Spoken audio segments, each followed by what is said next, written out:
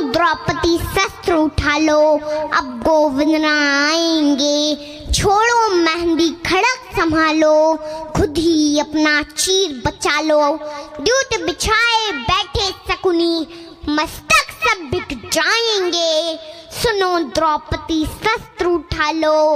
अब गोविंद आएँगे।